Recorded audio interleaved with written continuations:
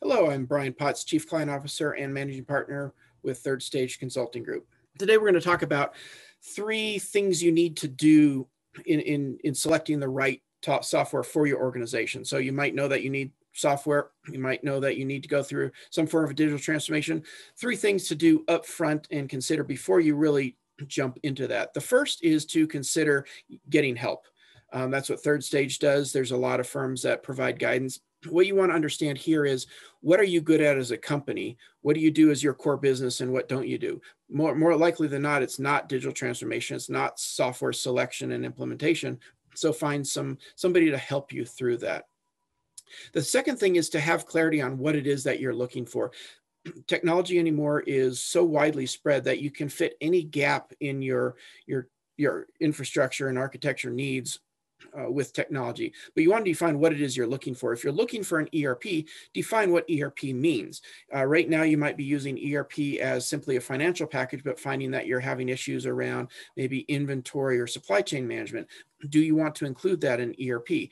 Um, and then that's something that your your advisory group can help you define. But if that's what you want to look at, define the areas, functionality of the business that you're looking to get help with and replace. Uh, and the, the third thing is to make sure that you've got the internal alignment for this project. Uh, where is this request for transformation coming from?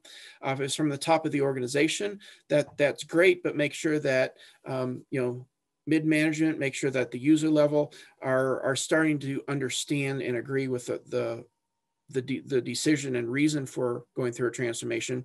If it's if it's at the from the IT group, for example, that's decided that you need a, a, new software, make sure that you have the support of the executive team. Because if you're just going out there deciding we need new software and you don't have the obviously the financial support, it's not going to go too far.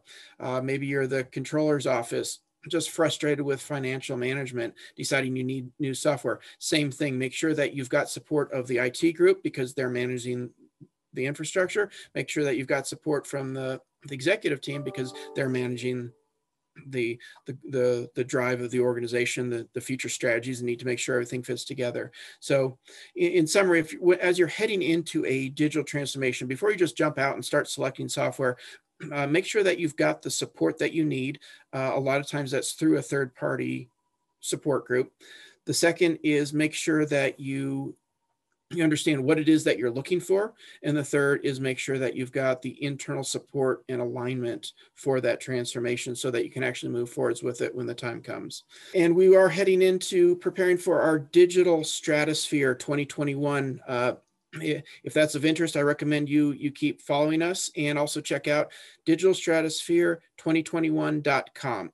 Uh, stay tuned for more information and look forward to seeing you there.